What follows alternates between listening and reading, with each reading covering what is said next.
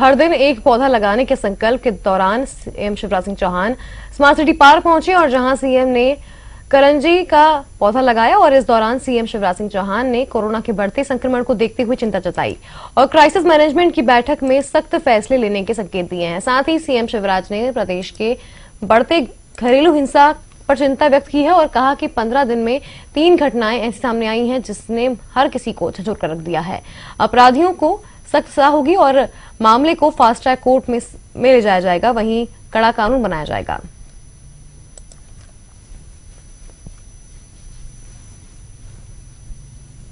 पौधा लगाया। तो मुझे भोपाल के पत्रकार मित्रों ने कल भेंट किया। और आज यहाँ अभी करंज का पौधा लगाया। पर्यावरण बचाने, वृक्षारोपण का अभियान जारी है। ये मुझे आत्मा का सुख दे पिछले पंद्रह दिन में तीन ऐसी दुर्भाग्यपूर्ण घटना हुई है, जिन्होंने मुझे झकझोर दिया है अंदर हिला दिया। तीन बहनों के पंद्रह दिनों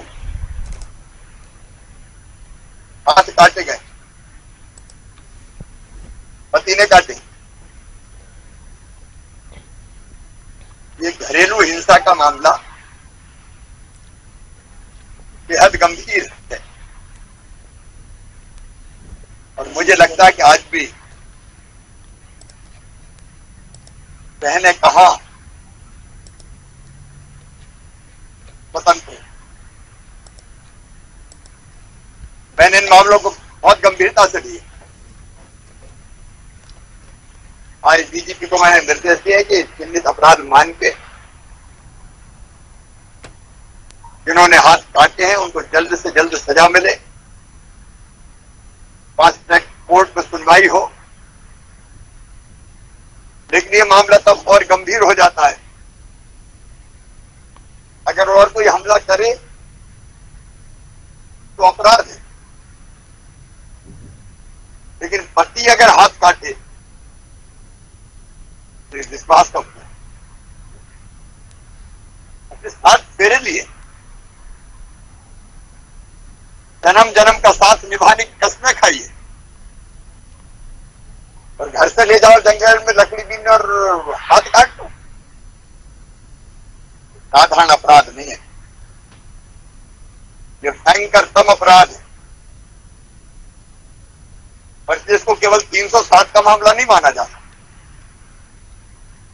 अब इस पर धारा 307 तक। लेकिन घरेलू हिंसा के मामले पर आज मैंने निर्देश दिए कि और कड़ा कानून बनाया साधारण अपराधों की तरह ऐसे मामले नहीं। राज्य मध्य प्रदेश में मैं अपील भी करना चाहता हम मध्य युगीन बर्बर युग में जी रहे हैं। पति की मर गया है पत्नी के हाथ काट ये हो नहीं सकता हिंसा के खिलाफ एक जनजागरण का अभियान भी चले ये भी मैंने सोचा है।